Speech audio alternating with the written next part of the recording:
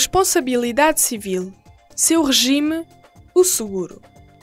Os veículos a motor e seus reboques só podem transitar na via pública desde que seja efetuado seguro da responsabilidade civil, que possa resultar da sua utilização. Quem infringir esta regra é sancionado com coima de 500 a 2.500 euros. Se o veículo for um motociclo ou um automóvel, de 250 a 1.250 euros, se for outro veículo a motor.